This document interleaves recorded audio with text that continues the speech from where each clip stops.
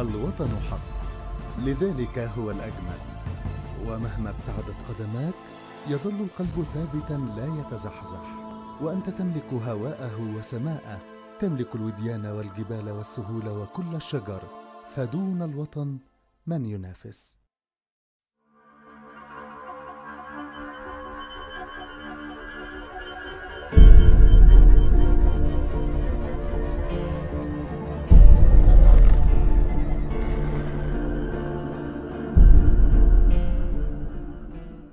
تقع منطقة الشلاتين وحلايب أقصى جنوب شرقي مصر. يبلغ عدد السكان 35 ألف نسمة يعيشون في نحو 20 ألف كيلومتر مربع.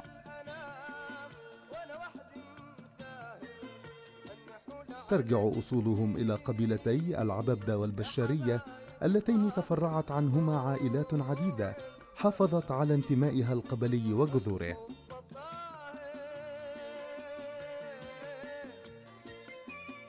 هي الشلاتين وحلايب قطعة من أرض وحق وأهل وعزة نسيناهم كثيرا. تتعدد مواردها الطبيعية. بين موارد بشرية تتمثل في قبائل محلية آثار فرعونية ورسومات قديمة تمثل الموارد الثقافية موارد طبيعية حياة برية ونباتات طبية إضافة إلى محمية جبل علبة التي تعد من أهم المحميات في مصر. وآبار مياه عيون ومسافة 210 كيلومترات تمتد على ساحل البحر الأحمر. منطقة الشلاتين وحلايب تعد إضافة إلى كل ما سبق من أغنى الأراضي بثرواتها المعدنية. ظلت تلك الثروات الغنية على حالها دون أن تكتشف أو تستثمر.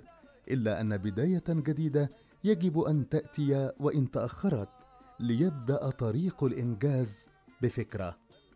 فكرة لشباب متطوعين وإعلاميين وشخصيات عامة وغيرهم. أدركوا أن التعمير مرادف الأمن والاستقرار وأن حفظ الأرض لن يأتي إلا بحفظ ثرواتها. آمنوا بأن من قال لا كرامة لنبي في وطنه أخطأ. فأنت لن تستشعر حبا وودا ودفئا وطمأنينة إلا في شوارعك وعلى أرضك. حين بدلت مصر ثيابها وبدأت نهارا لن تغيب شمسه بإذن الله كانت شريكة في الحلم والفكرة.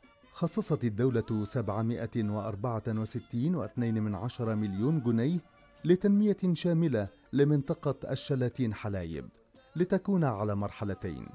المرحلة الأولى 340 مليون جنيه على أن تنتهي أعمالها في الثلاثين من يونيو من العام الجاري 2014 المرحلة الثانية 414 مليون جنيه والتي من المفترض أن تبدأ عملها في الأول من يوليو من العام الجاري 2014 لن تدخل المسافة والأبعاد في حسابات ومعادلات أولويات العمل وسيجري النيل في مصر كلها سيصل حدودها.